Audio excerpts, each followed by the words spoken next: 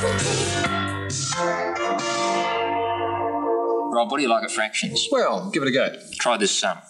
A half, plus a quarter, plus an eighth, plus a sixteenth, plus... A 32nd, 64th. and- Keep on doing it for 100 years. Oh. What would you end up with? Well, they're only little things, but a 100 years is a long time. A couple of thousand, couple of million, something like that. Let's try it out. It could be half of anything. Apple, orange, circle, square. Let's Right. take a square. There's a whole square. Now, I'll put half a square over the top of it. Right. It leaves half remaining. What- you what- add Right, that's a quarter a of the quarter. square. Yeah, that's a half of the remaining portion. I add an eighth. Right. I You add a 16th. I'm beginning to see what happens here. I add a 32nd. I add the 64th. We're getting closer and closer to the corner. Yeah, That's we're gonna make it. 128.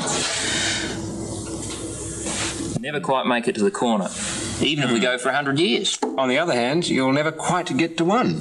So the closest answer is 1.